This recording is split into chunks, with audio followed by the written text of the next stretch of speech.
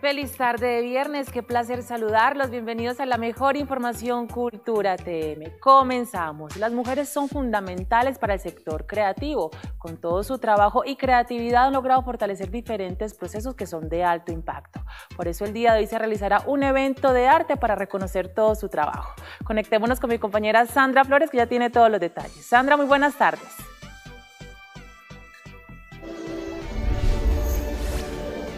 Joana y televidentes, muy buenas tardes, así es. Hacemos presencia el día de hoy en el poblado en el encuentro en sí. Un reconocimiento para la red de mujeres creadoras de Medellín que buscan justamente dar a conocer todo el talento que tienen las mujeres de nuestra ciudad. Pero para más detalles me encuentro con Ángela Penagos, directora de la red.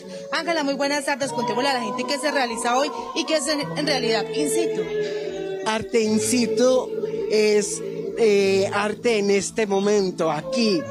Eh, estamos muy contentas porque es un proyecto ganador de la Red de Mujeres Artistas en una convocatoria de organizaciones sociales con la Secretaría de Participación Ciudadana.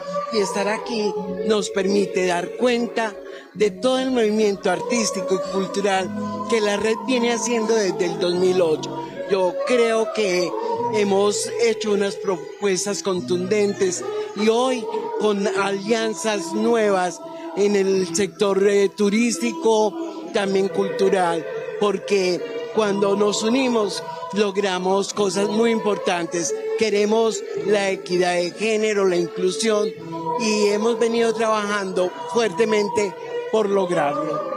Directora, muchas gracias. Yo les cuento a ustedes que la Red de Mujeres Creadoras de Medellín y de Mujeres Artistas no solamente es una corporación que agremia a todas las mujeres para poder dar a conocer todo su talento, sino que también tienen un medio de comunicación que hace parte de la alianza MAI Tele Medellín, que buscan ellas con este medio de comunicación que es aliado justamente y que nace desde la Red de Mujeres Artistas de Medellín. Nos conectamos en este momento con Débora Dante. Débora, contémosle a la gente cuál es la labor justamente este medio de comunicación.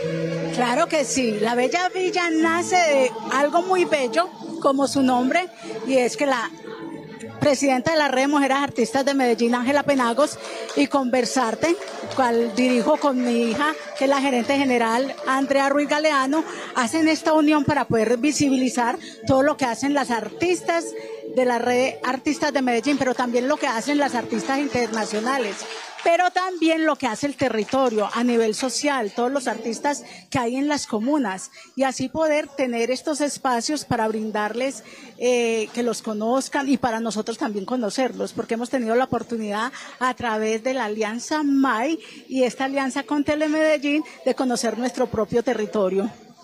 Bueno, Débora, muchas gracias. Yo les cuento entonces que a, partir de hoy, con este proyecto naciente, Arte In Situ, se busca fortalecer justamente todas esas propuestas artísticas que tienen las mujeres de Medellín y dar a conocerlas a nivel mundial, porque este medio es conocido en Argentina, en Estados Unidos y tiene seguidores que justamente están apreciando todo el talento de las mujeres de la ciudad.